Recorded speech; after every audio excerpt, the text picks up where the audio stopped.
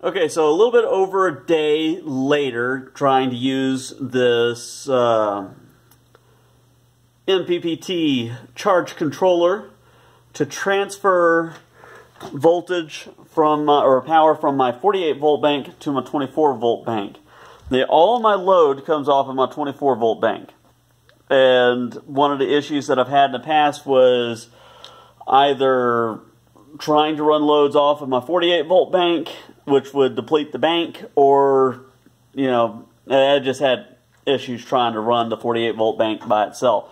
So I'm using this controller hooked up to the 48 volt bank to transfer excess power to the 24 volt bank.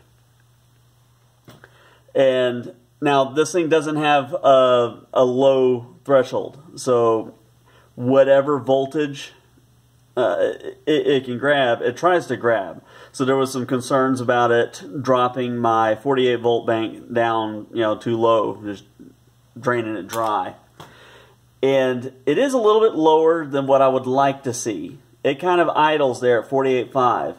I have been watching this all day. I come out here about once every hour or so and look at it. And this routine that we're seeing right here where it, it settles at 48.5, it rests for a minute, and then this controller tries to see if it can grab anything. It might get 20 watts, and then it drops off almost immediately because it can't really pull a whole lot of power off of the off of the bank. Then it goes back to rest, 48.5, starts over. Uh, I think that it could keep that cycle up for days and days. Now, I generally have, you know, enough wind to fire up my Healy, except for yesterday and today.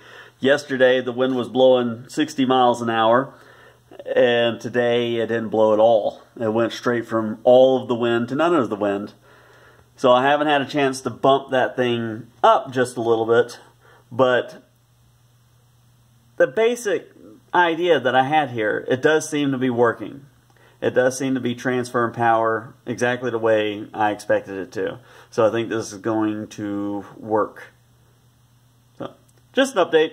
Thanks for watching, guys. Y'all have a wonderful evening.